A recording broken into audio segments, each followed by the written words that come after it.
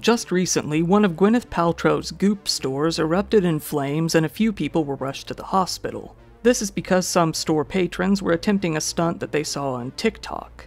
So let's look into what happened here and some other goopy incidents as well.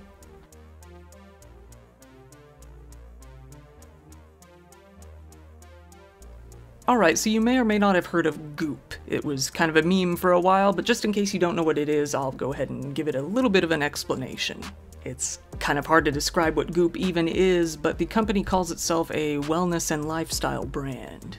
It was founded by none other than Gwyneth Paltrow back in 2008 and started out as a weekly newsletter that offered kind of new agey health advice.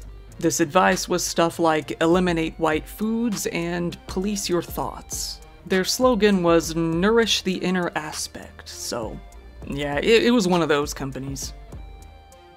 Eventually, they started collaborating with various fashion brands, setting up small shops here and there, and even started making their own products, along with magazines, a podcast, and a Netflix series about the brand. Not only that, but they held an annual Lifetime Wellness Summit, which sounds like the name of a class that I had to take in freshman year of college that taught me how important it is to show up to class and shower regularly. But anyway.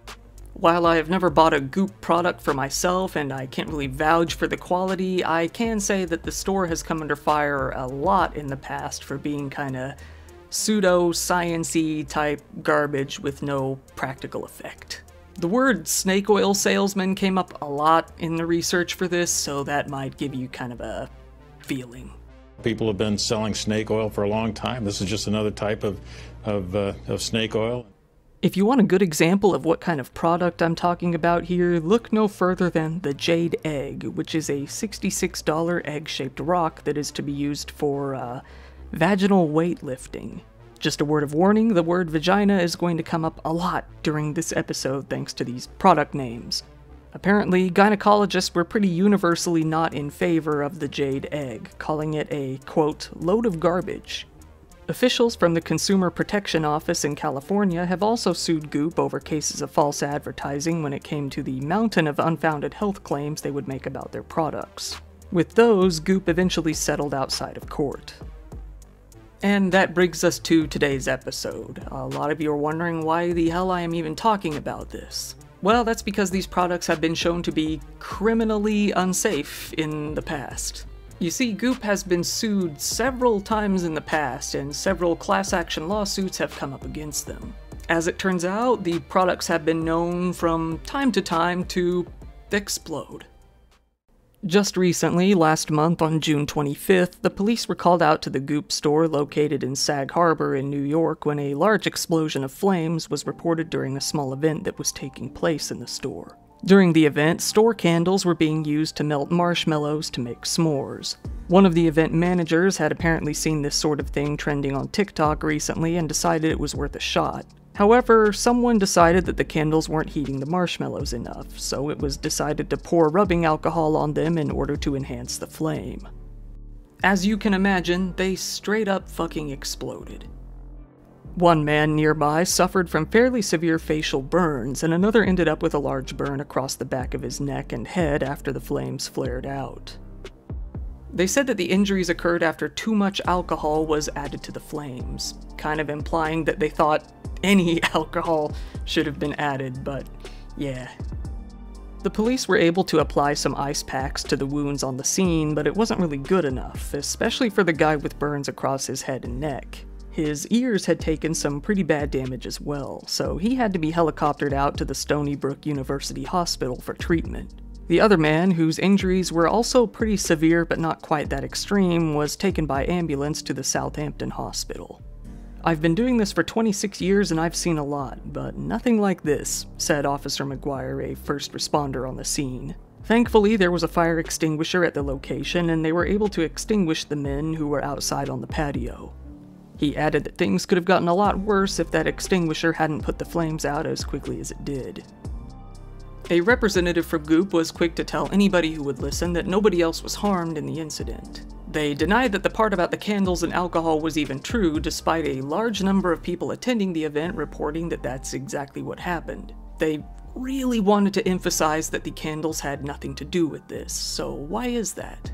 Well, as you may guess, it's usually the candles that tend to explode, even without any alcohol being involved.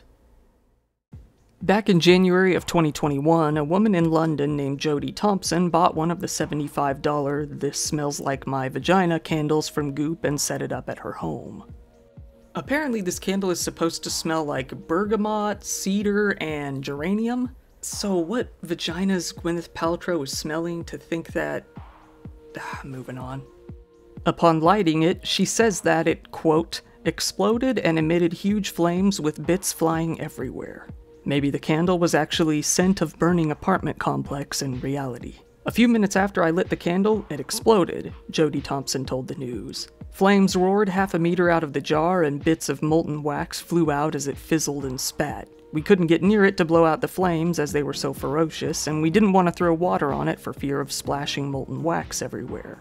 Luckily, I had it placed on concrete at the base of what was once a fireplace, she said. At least it seems that Jody and her partner were able to put the fire out before it got too bad, saying, We eventually got it under control and threw it out the front door. It could have burned the place down. It was scary at the time, but funny looking back that Gwyneth's vagina candle exploded in my living room. This was just a few months later after another woman in the area had reported that exact same thing happening to her. Jody ended her story with, Thankfully, after what seemed like an age, but was probably no more than five minutes, the flames subsided and I could blow the candle out. The charred jar and melted label were a testament to how hot it had become. When she spoke to Goop about this, they reportedly offered her more candles as compensation, which. Time out.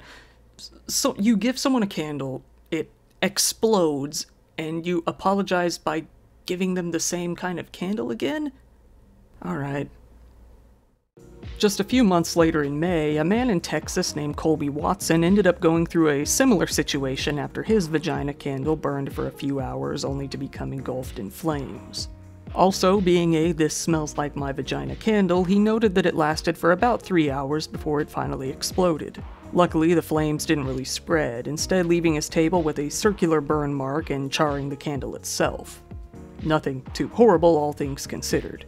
Either way, he geared up to sue. His representatives are trying to bring the case to trial and are looking for up to $5 million in damages for both him and other clients who, quote, through no fault of their own, bought defective and dangerous vagina scented candles.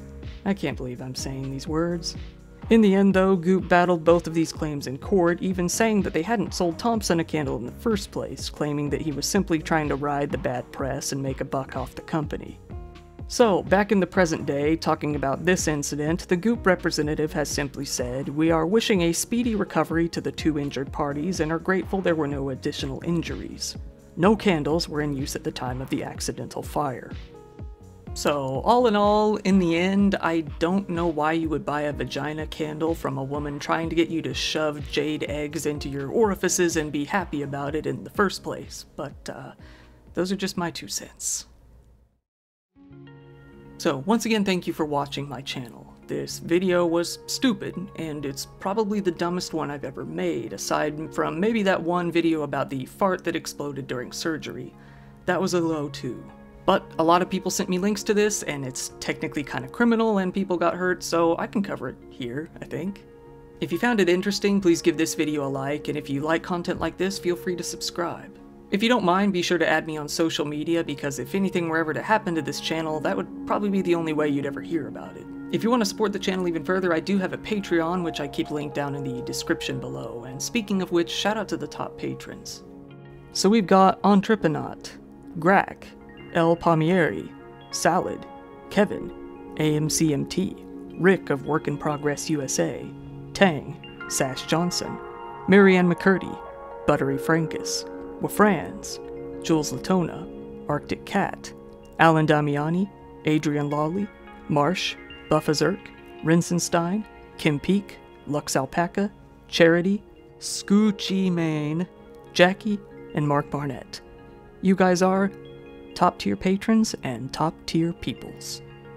So this has been Kyle with Dire Trip. Thank you, and have a good night.